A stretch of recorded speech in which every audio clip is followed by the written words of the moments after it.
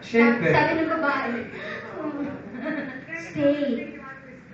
Oy, sige, sige. Pang special event na po kasi si Ma'am Lenny. Pang, pang concert, concert na sige.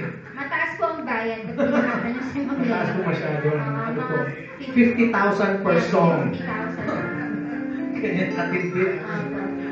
Kasi kailangan kasi ganun din yung gagastusin niya sa pagpa-practice. Parinig ka na naman ng ano. Oo, hindi. Sige, May na yun si Mama. Hindi. Ayan. Ah, okay, sige, sige. At ganyan, sa ating darating na pinaplano pa lang na anniversary concert, 50th anniversary concert ng Electromaniac. Sana po matuloy. Mm. Let's see if it's gonna happen this year. Okay, Sino sige. ba mag-concert ang Electromaniac? Siyempre naman. Of course. Parang nabilisan Sa Canada. Sa Canada daw. Oh, di ba? Punta tayo ng Canada. Let's go. Ngayon na. Now na. No, no. Bukas na may appointment ako.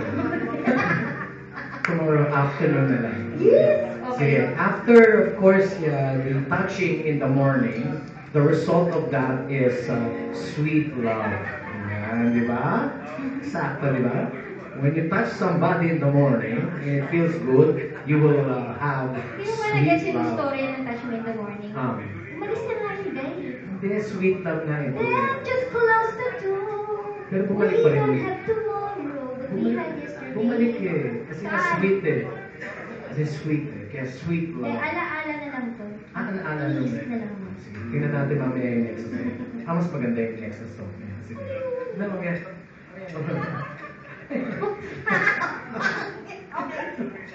Maganda yung mga images.